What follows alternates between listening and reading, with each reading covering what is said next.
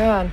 The setup for this film and where the idea came from actually has no resemblance to what the eventual ending of the movie was. So we wanted to do a thriller. Um, we had one idea, but the research took us into the computer world, um, which was very fledgling at the time, and uh, and we realized it's a great place to put a character in the midst of you know destroying somebody somebody's identity. What interested us about the story, in addition to the computer virus stuff, which was all really kind of secondary, was just the nature of identity and how easy it would be, you know, in modern society for one to kind of lose a handle on on who they are if they're predisposed to that sort of thing. You could really take this one element and make a whole movie out of it of somebody who's just not themselves. And it accorded really well with the stories which were beginning to pop up in the press and the specialty press of the time and computers about how everything that you do is being watched. That every single movement you make is seen by somebody. And most of the time, nobody really cares enough to bother to put the information together or mess with you. But if they did, wouldn't that be scary?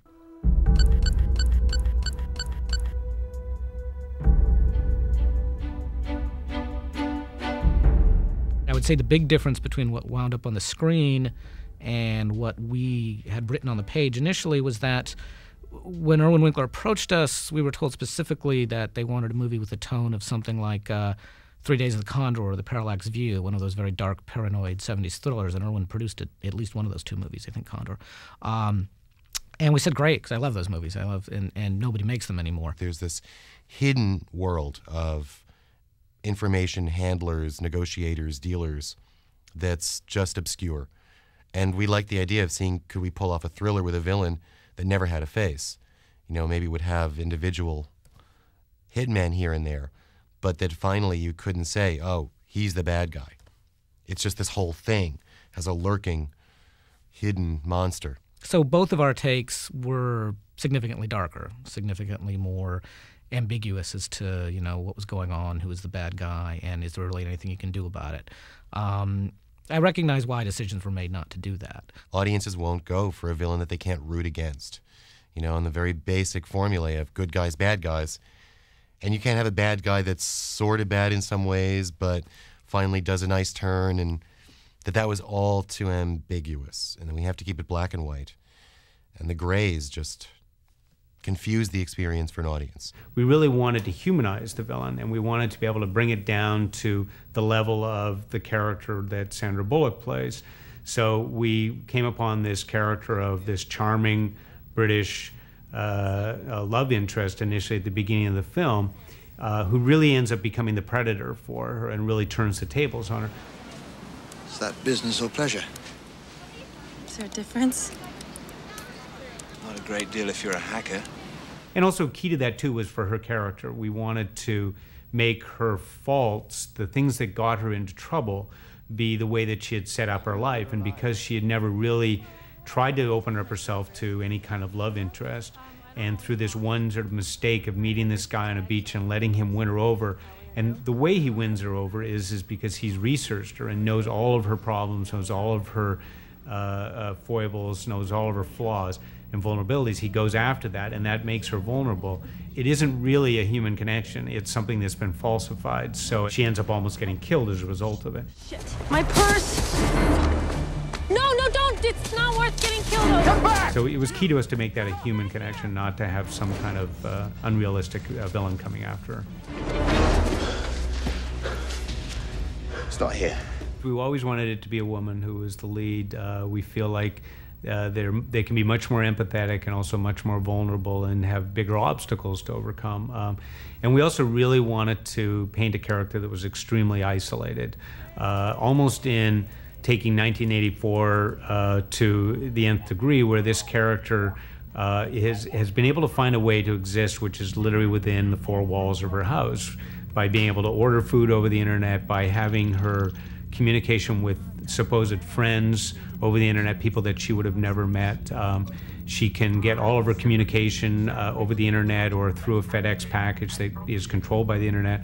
So at the end of the day, we wanted to have a character that had found what she thought was a very comfortable life and a way to exist that meant that she never had to really communicate or connect with humans. And then the trick was take that character and take away all those safety guards that she had, everything that she thought she could rely on. What? What? What happened? Angela Dale's dead. His plane crashed last night outside L.A. He. I, I- I just talked to him yesterday. He was he was coming to see me. The ability to be able to stay in her home, that gets taken away from her. The ability to communicate with people over the internet, that gets taken away from her. And really strip down her identity to not all the, the trappings of credit cards and everything else, but just to who she is as a person. And make her examine that throughout the film in a thriller way. So every time she's put to a test, it makes her realize that she actually has a lot more fortitude than she thought she did. Yeah, we've got uh, Ruth Marks trying to run a scam in a house. She's uh, wanted for prostitution and narcotics. So we're gonna bring her in. Um, would you excuse me? Um, I'm gonna be right back. I'm just gonna use. I had remembered that I saw Sandra Bullock in a picture that she had done with Sylvester Stallone. She shined for me, and I kept saying, Who is that girl? Who is that girl? I was really intrigued with her. And at the time, she had done a couple of movies. Speed was the most notable. She was extremely charming in the film. Uh, both Irwin and I felt she was very winning.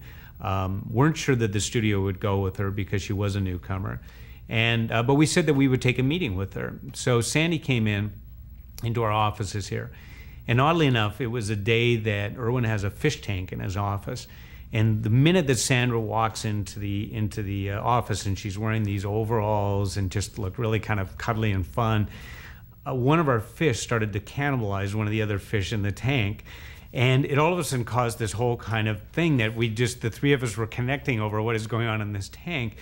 And Sandy was immediately so winning to us and so much fun. And, uh, and we both just had, we all, all three of us just had a great time. We spent a couple of hours together talking about the film. And, and literally, as she walked out the, the door, Irwin turned to me and said, That's somebody that we can spend two hours in a movie with. I'll tell you, after spending um, a while with her, I said, "Boy, I'm madly in love with this girl." You know, I came up to my wife. I think I found somebody I'm madly in love with. So she completely charmed us.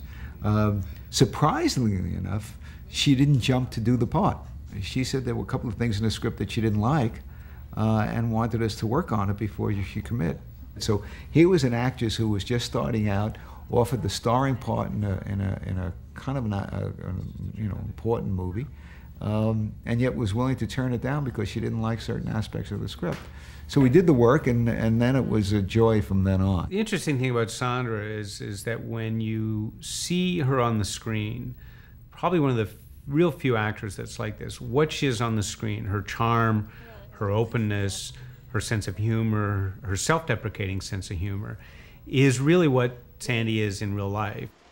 Computers your life, aren't they? Yes. Perfect hiding place. Aquí está la foto, salió muy bonita. So we obviously now had to start to work on the Devlin character. We read 50, 60 people. There was a lot of people who wanted to do the role. Um, all a lot of good names, really terrific actors. Um, and we saw everybody imaginable that we could that came in to, to read for it. And literally, in the one of the last days when we were weeks away from from shooting, Jeremy Northam came in and he read extremely charming British actor, uh, Royal Shakespeare trained, uh, won an award for replacing Daniel Day Lewis playing Hamlet. Uh, the studio said, "Well, what do you want an Englishman and all that?" And I wanted very much to have somebody that had an international flavor. That uh, this conspiracy that was going on was beyond just the American uh, borders. Not only had we found the best actor, but we'd found somebody who the audiences didn't know, and so their expectations weren't set up so that when when Jeremy meets Sandra on the beach, you don't know where it's going to go. He's not somebody you've seen be a bad guy in a movie before. He's not somebody you've seen be a good guy in a movie before. You just immediately are attracted to this guy. How long would it take to track her? Depending how much she's set up, how long she stays on. 15 minutes, half hour the most. Will you call me the second you find her? And that other matter, Mr. Devlin? Oh, that's um, that's free of charge.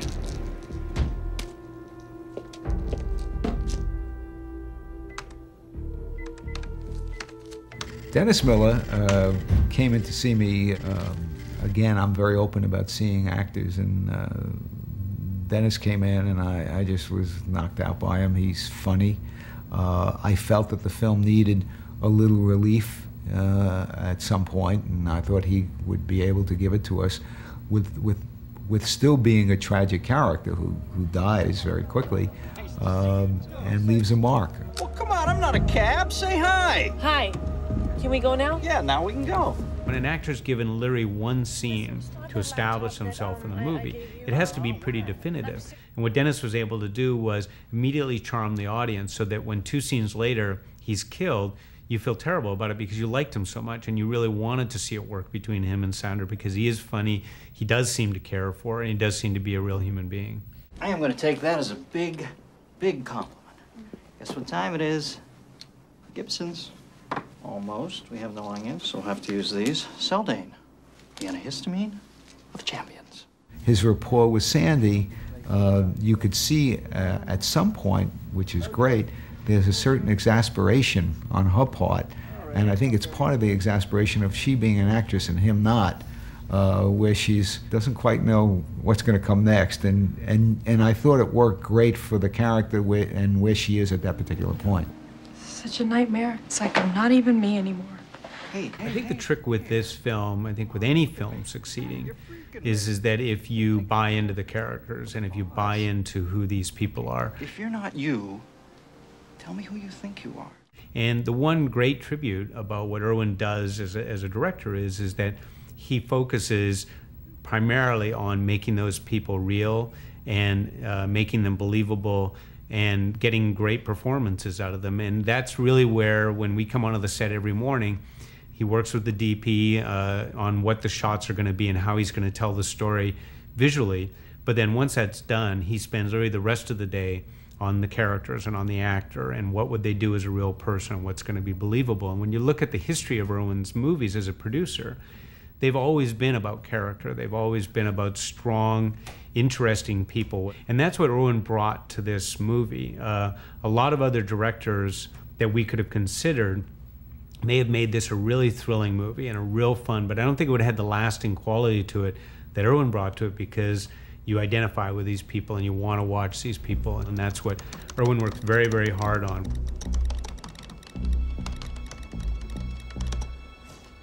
I like to put a kind of a, a, a subtext in, in the film that um, rises into the pot as it's boiling over. To me, she was always the angel. Uh, to me, he was always the devil. Um, the, the gatekeepers and the Praetorian guards are all um, historical uh, uh, religious icons or, or um, legendary icons. Meet in IRL in private. The world of computers does have that feeling to it. It does have a kind of mythological feel to it, and it does have a sort of religious feel to it as well, because the world of the, the internet and, and uh, that's kind of out there in cyberspace is still something intangible. And I think people still do feel like there's some kind of odd god running it, and so we wanted to infuse that into the film.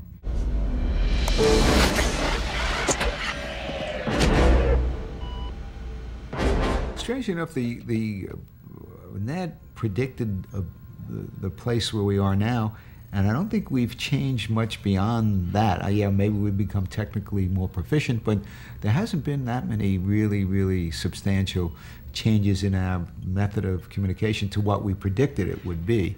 Uh, and we, we, we weren't soothsayers. We didn't predict it based on nothing. We had the information available to us as everybody does. I don't understand. I don't understand. Why me? Why me? I am nobody. I am nothing.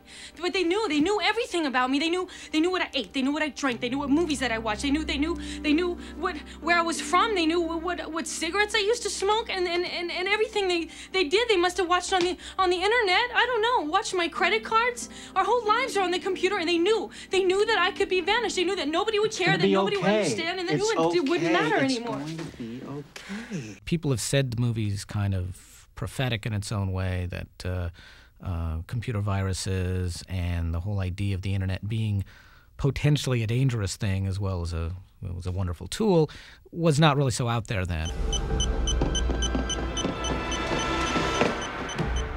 Okay, what's this?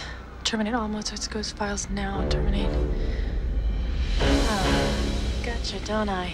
I don't think we were prescient. I mean, we were definitely working from information that was out there. We didn't make up the idea of computer viruses, but it certainly was novel. get you out.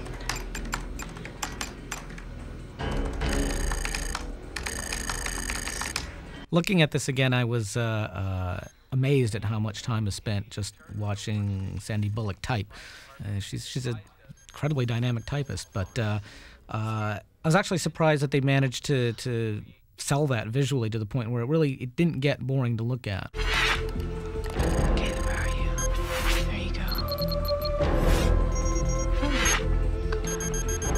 20 to 30 percent of the movie is somebody typing at a computer, looking at a computer screen, and probably 70 percent of the movie is a is the lead character being by herself. And the first thing that everybody told us was they just loved it. It was something they had never seen before in a film, never to that extent, or never was that kind of jazz to it.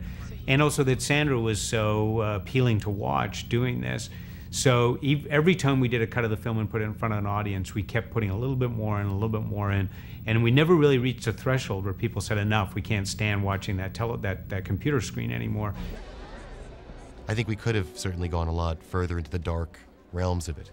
That people are generally so much more familiar with how scary their computers are, from you know cybernet stalking and and you know, creepy individuals who just won't let you alone and mess with your life to, you know, innocent looking emails that destroy everything on your hard drive.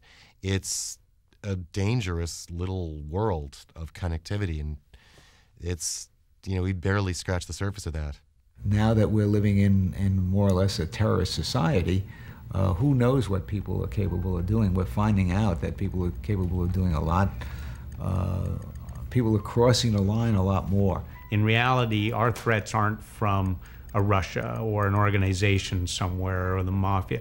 It's from radical individuals that have no, not necessarily any kind of major ties to anybody, that they can cause a great deal of damage on a whim. The biggest threat is going to come from some cyber geek somewhere in you know in the middle of nowhere with the computer and the and and the wherewithal to to get in and launch a global virus. God damn it, you're in the mainframe. It's eating through Gregg's entire system. Devlin, do something. Devlin, it's a virus eating through the gatekeeper program. There's gonna be nothing left. Everything will be destroyed. Wanted to show some kind of resolution at the end of the film uh, for the character and, and make the audience realize that she had come a, a long ways. Uh, obviously, by the time she is uh, beaten the bad guys at the end of the movie is is that she certainly has saved herself and, and, by happenstance saved the world. But we really wanted to be able to show that as as a character and as a human being that she has opened up her life. So we had this metaphorical scene of the walls coming down, of her planting flowers, of her connecting with her mother and having her mother come and join her. I can't remember what you told me to plant. You know what? Why don't I come outside and help you? I'm trying to convey stories now, and that's maybe me, um, that are less to do with um, using devices by which we can communicate and trying to get people to touch each other a little bit more. And, and that's where I, my own personal feelings go. And we wanted to open up the scene at the end as we the camera pulls up and away but Irwin very particularly wanted to have a moment where he realizes that just because she's done this, it doesn't mean that there is still not an inherent problem out there, which is true. So we ended up with a little cursor at the bottom of the screen just to remind everybody. So that's just a warning uh, that don't think things are going to always be uh, nice and happy at the end because you never know what's going to come. Hey, it's Lisa here with some behind the scenes trivia. Now, the first recorded use of special effects as we know them was done in 1857 by Oscar Rejlander. He took 30 different photo negatives and combined them into a single image. This was the first example of the montage print. Now, if you haven't already done it, remember to click here below to subscribe or on the side for more great content.